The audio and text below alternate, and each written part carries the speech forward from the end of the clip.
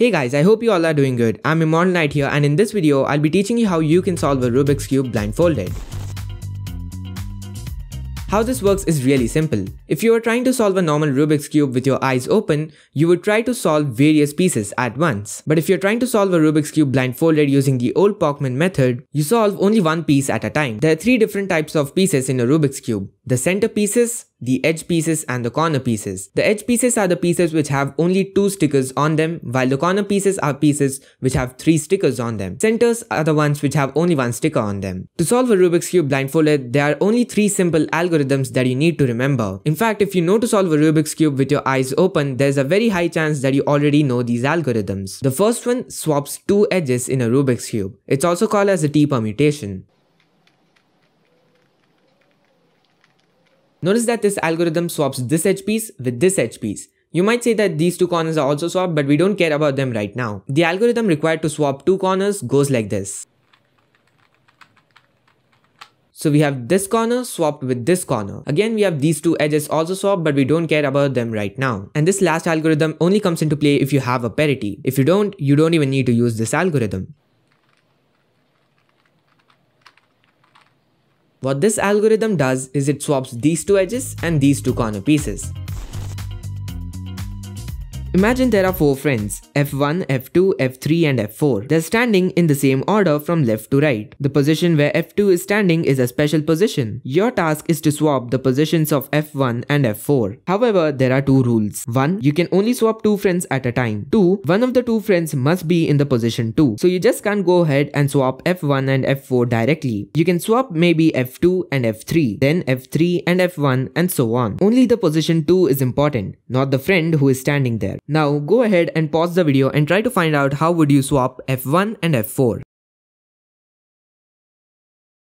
First, I go ahead and swap F1 and F2. Then, I go ahead and swap F1 and F4. Then, I swap F2 and F4. There you have it. Now, back to the cube. Just like we had a special position in the previous part of the video, we also have such sort of a special position in a Rubik's Cube. For edges, that special position is this piece right here if you hold green in front and white on top. Basically, any edge that comes in the top layer and in the right layer of the cube. That is in this case, this edge right here is considered to be a buffer piece. And to be more specific, the top sticker of the buffer piece is considered to be the buffer sticker. Because as I said, an edge piece is made up of two different stickers. So you need to be very specific as to which side of the edge I'm talking about. For corners, the buffer piece is the one which comes in the left side, the top layer, and the back layer of the Rubik's Cube. In this case, this piece right here is considered to be a buffer piece and especially the orange sticker if you hold in my way that is green front and white top is called the buffer sticker. That is why the algorithms that I showed you at the starting work completely fine. Notice that whenever I want to swap two edges in a Rubik's cube and I do that algorithm, I have this piece being swapped over here and according to a condition from the previous part of the video, that's completely fine. Also, you notice that we have one more edge piece that is being swapped over here. This piece right here, which is the other piece if you exclude the buffer piece, is called the target location so this is our target piece and this one on the top here is called the target sticker. So basically if you want to swap any two edge pieces in a Rubik's Cube, just bring one of those to the target location and your buffer should always remain a constant piece. For corners, if you go ahead and do the algorithm, notice that this piece here is the buffer piece and the piece which was affected excluding the buffer that is this piece will be called the target piece. This sticker right here is called the target sticker. Basically, a buffer piece is the only piece in a Rubik's Cube which has a permission to be swapped with any other piece, just like how we saw in the friend segment. Let's say I wanted to swap these two edges. If I want to swap them, I can just do the algorithm and that swaps them easily. Well, what if I say you need to swap this edge piece with this edge piece right here? You might feel that's an impossible task because there's no algorithm which exists to swap these two edge pieces right here. However, notice that if I just do an L prime move at the starting, I now have these two edges in the same line. So now if I go ahead and do the swapping algorithm, notice that I've swapped this edge with this edge right here. And now I can just go ahead and restore this piece from where it came. So basically the starting move that I did, that is L prime in this case, is called a setup move. All it does is it brings various different pieces from all around the cube to the target location so that it can be swapped around with the buffer piece. There'll be a list of all setup moves down in the description box so that you can bring any edge piece or any corner piece to the respective target locations.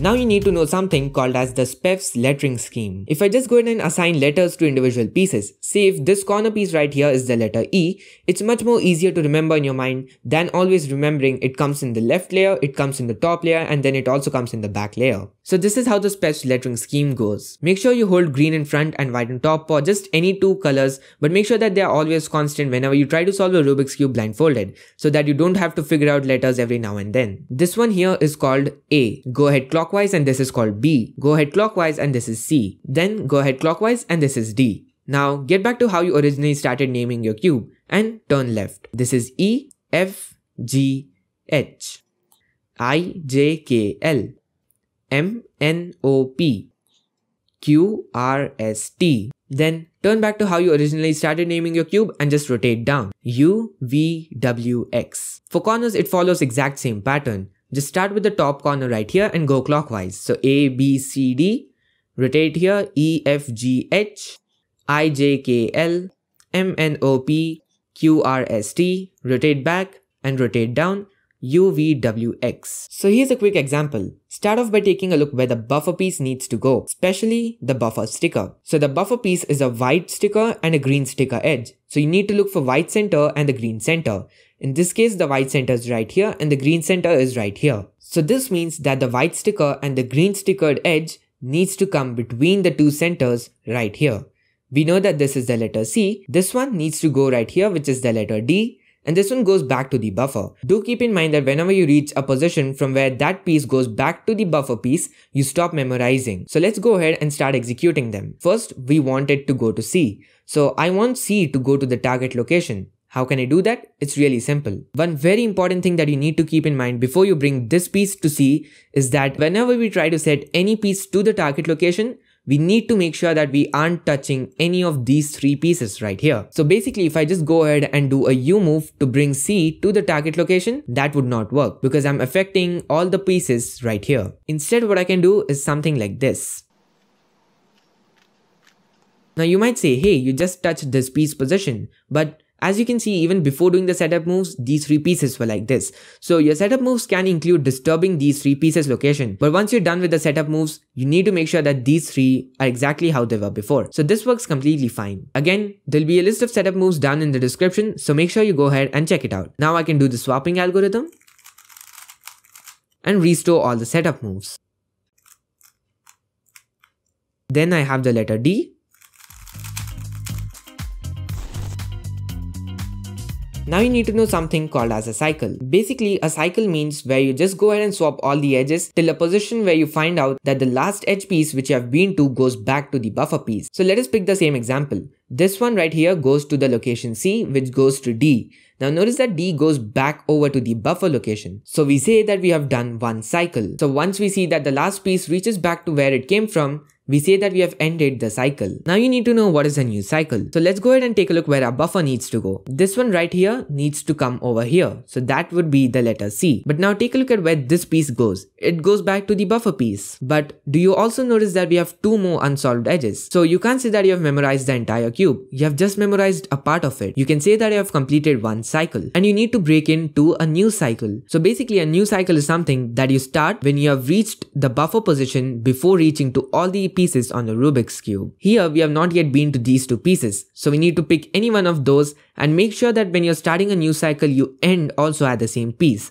So let us see if I start my cycle over here. I need to go throughout the cube and make sure I'm ending only over here. During that process, if I've been to all the edge pieces in the Rubik's Cube, I can say I've completed my cycle. And if I've not been, I need to break into another new cycle. Basically, you go ahead and do this until you have been to all the pieces in a Rubik's Cube. So let's go ahead and start memorizing. This is our actual buffer piece and this goes right here. That is the letter C. Now this piece goes back over here so we stop memorizing the first cycle. So in our memorization, we only have the letter C. Now you can go ahead and pick any unsolved piece on the Rubik's Cube. I'll go ahead and choose the letter D for my new cycle. This one goes right here, which is the letter A. This one needs to go back over here, that is the letter D. Notice that I started from here and I'm also ending over here. And because I've been to all the edges, I can say that I've memorized all the edges. So here's how the execution would look. First, I have the letter C.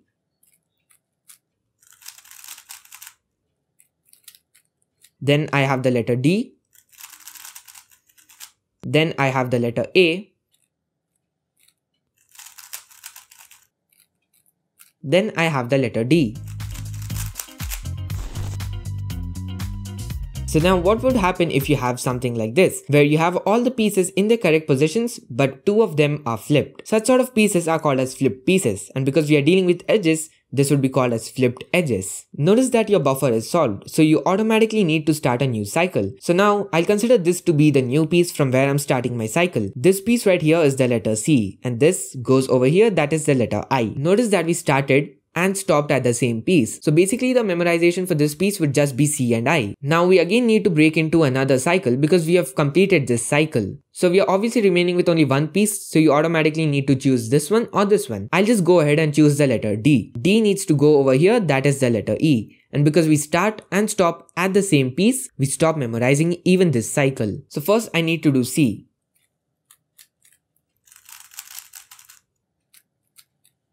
Then I have the letter I.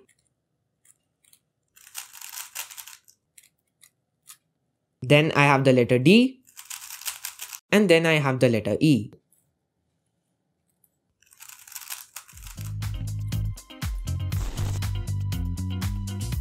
Now let's take a look at parity. This can only happen if you have remembered an odd number of edges and an odd number of corners. So we need to know an algorithm which can swap these two edges and these two corners. That is called as the R permutation. Notice that this algorithm swapped these two edges and it also swapped these two corners. So whenever you remember an odd number of edges and an odd number of corners, you always know you're gonna get a parity. So once you have memorized your cube, you first need to solve the edges, then do the parity algorithm and then do the corners. In case you didn't have any parity, you just solve the edges first and then solve all the corners together. So to wrap up this video, here's a real quick example. So let's start by memorizing the whole cube. This one is the buffer sticker and we are mainly focused on this sticker right here. This one goes over here, which is the letter D. And now notice that D goes back over here so you don't have to memorize it because it's our initial cycle. And if you're having any difficulties, make sure you leave a doubt in the comment section so that I can get back to you. Now because we have reached our buffer piece, we need to stop memorizing this cycle and break into a new cycle. Remember that whenever we break into a new cycle, you need to memorize even the first and the last piece. Let us start off by taking a look at this piece. This is the letter U, which goes right here. This is the letter L, and this goes right here, which is the letter J. This one goes back over here, that is the letter U. So our final list for edges would be like this. Notice that we have memorized an odd number of edges, which means that we are gonna have a parity. Keeping that data aside, let's start off by looking at corners. This is a buffer sticker and this one goes right here. This is the letter V and because V goes back over here in this case, we don't have to memorize anything extra. So now let's go ahead and execute the edges. First, we have the letter D then we need to break into a new cycle. In the new cycle, we first memorize the letter U. So I can bring U to the target location by doing something like this. Then I can go ahead and swap these two edges and undo all of my setup moves. Then I have the letter L, so I can bring L to the target location like this. Now go ahead and swap them and restore it back. Then I have the letter J. So what I'll do is something like this. Now notice that I have yellow on the top, so I can go ahead and swap them and restore all of my setup moves. Again, I have the letter U. Now that we are done with executing our edges, we had memorized only 5 of them, which means we memorized an odd number of edges and whenever that's true, you need to do the parity algorithm. And now for corners we just had one letter that is the letter V, so I'll go ahead and do that. So I hope this tutorial helped you solve a Rubik's Cube blindfolded. If you feel you're more comfortable with this method, you can watch some advanced methods on solving a Rubik's Cube blindfolded here at the end screen.